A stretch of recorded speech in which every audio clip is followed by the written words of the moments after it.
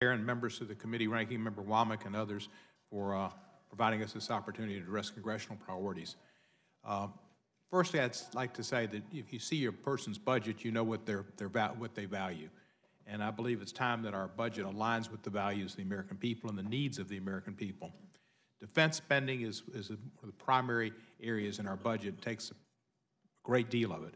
It's important, no question about it, but we have compelling needs at home that need prioritizing for more funding, even more so than defense. We must deal with, first of all, our own mortality. That's a special interest to each and every one of you, your own mortality, and a lesser included part of that is our health care, our health experiences, our health care, and how we deal with that. Uh, Secondly, we need to deal with education and educating our populace. Third, get people jobs, and we do that through a good infrastructure program, which we need to fund. Our infrastructure is crippling, and it's important to get goods to market and to help uh, our, our commerce, and, and also to embrace diplomacy. Uh, you know, the, the likelihood that uh, Congress also needs to end the school to prison pipeline, reduce recidivism, end the rape kit backlog, and support people who are getting clean from drugs. And we can do this by supporting programs in commerce, justice, and science. The likelihood of any one of us dying from heart attack or heart disease or stroke or diabetes or Alzheimer's or AIDS or whatever else is, is pretty darn good. The likelihood of us dying from a terrorist attack or in a war involving North Korea, Iran, or anybody else is pretty much nil. I'm not saying we don't need a defense budget, but there's a whole lot of fat in that defense budget.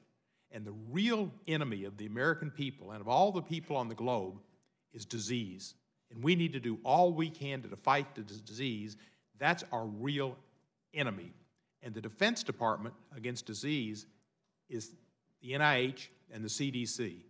And the more we can help the NIH and the CDC in doing funding on these catastrophic diseases, the more we are prioritizing what the real enemy is and what our real purpose should be, keeping people healthy and keeping them alive for a longer period of time and keeping their relatives and their loved ones, et cetera, alive too. Uh, we need to maintain our, our safety nets, Medicare, Medicaid, it's part of that health program, and food assistance programs. It also relates well to it. If you don't have a good diet and you don't have an opportunity, you're going to have disease. It's going to follow with it. There are 15 million American households, 11.6%, who are food insecure or were sometime during 2017. That means 40 million people, including 6.5 million children, live in food insecure households. The wealthiest country on earth should not be letting people go to sleep hungry.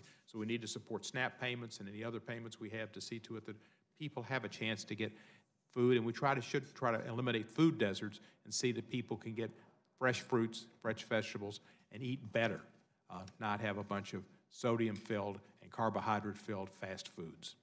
Congress needs to invest in diplomacy and foreign aid as well. As our great former Secretary of Defense Jim Mattis said during testimony before the Senate Armed Forces Committee, if you don't fund the State Department fully, then I'll need more ammunition ultimately. So I think it's a cost-benefit ratio. The more we put into the State Department's diplomacy, the less we have to put into the military budget as we deal with the outcome of an apparent American withdrawal from the international scene. Diplomacy and foreign assistance saves service members' lives and saves the United States government money by putting less soldiers in harm's way and doing the right thing to try to head off crises before they occur. I believe it's contrary to our, what our priority should be when the Department of Defense receives over half of our discretionary spending and every other department and agency has to fight over the scraps of whatever's left. Uh, I appreciate the opportunity here before you and just stress all I can. And I know it's a special interest, special interest to each of you individually and your families and to every one of your constituents to make fighting disease and improving health outcomes the number one priority of our budget because that's what we need to be doing. Uh, urge the committee to do this, and I thank you so much for your efforts and your time, and I look forward to many, many years from now when Mr. Yarmuth retires and his picture will be up on the wall with Ms. Black, Mr. Ryan, Mr. Spratt, and others. I thank the gentleman very much for his testimony and that comment. Uh, Any, yes, you recognized for five minutes. Thanks, Mr. Chairman. Uh, Representative Cohen, uh, just a couple of quick questions. Appreciate you being here, taking the time. We all have busy schedules during the day, so thanks for coming here and addressing the committee. Uh, You outlined some of the issues that you believe are pressing and important and things that we should prioritize as a Congress. Uh, I share your uh, concern about uh, the well-being of the American people and health issues. Uh, You know, my dad's a polio survivor, I'm a cancer survivor. You've got hundreds of stories, right, in your family and network, we all do. Um, My question for you is, you described the extent to which there's waste in defense. Would you also agree that there's waste in non-defense discretionary spending? There probably is, but I have not seen as outrageous of reports as the reports I've seen over the years on defense, whether it's toilet seats on planes or other uh, examples that have been cited and uh, cost overruns on airplanes.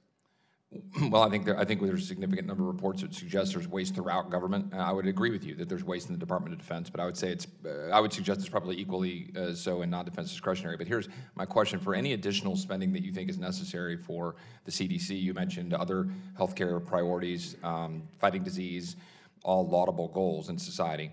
Are you suggesting dollar-for-dollar cuts out of DOD in order to pay for any increases that you're suggesting there? I am indeed, because I think it's our, it's our first line of defense, and it's the real enemy. More than, I'm a polio survivor also. Oh. Now, Dr. Salk and Dr. Sabin kind of took care of that, and the Right. Gates is a nice trio. Sure. But, uh, you know, you've got heart disease, stroke, you name it. Mm-hmm. And you just pick up the obit, the paper any day and look at the obits. Those are people we lost, and they could have been put off. They're gonna, we're all gonna go eventually, but we can delay it, put it off, and, and make it better. And I just think that's our first priority. Okay, I just, I just wanted to clarify about what we're talking about here in order to get, you know, because we're sitting, we're sitting here looking at a one point three uh, trillion dollar deficit, right, for the, this fiscal year, and, or, I'm sorry, we're almost a trillion dollars of uh, deficit spending this fiscal year. Um, I'm trying to look out and see, well, what are we gonna do next year in order to control spending? And so that's one option, right? If, if those who want non-defense discretionary to go up, they say, well, we want dollar for dollar cuts in defense. If we want defense to go up, maybe dollar for dollar cuts in non-defense discretionary. I guess my question for you is, how do you propose we get a handle on spending and balancing the budget um, uh, going forward? If what you just suggested would be to increase non-defense discretionary, do dollar for dollar cuts out of defense, we're still going to be spending a trillion dollars more than we're taking in. So what, what's, how to, what's our way forward when we're staring at $22 trillion of debt? Well, there's a lot of ways, and I think revenue is a major way, and I think a lot of the tax cuts that we just passed were unnecessary, wasteful, didn't spur the economy on, it was a short blip, and we ought to put taxes back on the wealthiest, wealthiest people. And, and while, you know, what was proposed by one of my freshman colleagues might be a little high, uh, the top rate ought to go up, because people earning over $10 million, over $20 million can and should pay more, and the estate tax never should have been changed, even when the Democrats did it. It should go back to the th- level of 3.5 million single exemption and $7 million marital exemption. Uh, 60% of the wealth in this country is, is passed through estate shifts by inheritance. People ought to earn that money. You know, Ivanka Trump just said, people don't want a handout. They'd rather work and earn their own money. They don't want to be given something. But 60% of the wealth in this country is passed by inheritance. And that's where the estate tax comes in, and we could raise a lot of money there by putting it back to the right areas where we did and not give uh, So tax you- breaks to the, to the Do you lucky think there's a, club. you think there's a trillion dollars of revenue on the table in tax increases? There certainly can be. We had a trillion dollars of deficit created because of tax decreases. So the, so the answer then, what I'm hearing is, uh, increase non-defense discretionary, to cut defense, to increase taxes to the tune of, of a significant amount of money, upwards of a trillion dollars. That's, that's, that's the suggestion? You know, I'm kind of like, I guess, Everett Dirksen, I think it was, and it might have been, you know, a million here and a trillion there, and you've got real money. I don't know, trillions and billions. It could be billions. I don't want to go with trillions, but whatever it is. I mean, there's, there's money that we gave away in, in the tax cuts, and there's money we gave to a bunch of people who are going to inherit money uh, that they otherwise would not have uh, when we reduce that rate. The rate's the big thing. It's not the exemption level. It's the rate going from 55% down to 35%. That gives the billionaire folks hundreds of millions of dollars to pass on. So People la- that last don't want it because they want to work. With my time decreasing, I obviously believe that the uh, tax cuts have paid for themselves. I think CBO report has suggested such. I think we've more than paid for the tax uh, cuts that have been uh, put in place to then generate the revenue that we're now seeing with 3% economic growth last year. So I'd obviously respectfully disagree, but I thank you for your time. You're welcome, sir. Expired, gentleman's time has expired. Now recognize the gentlelady from North Carolina, Ms. Adams.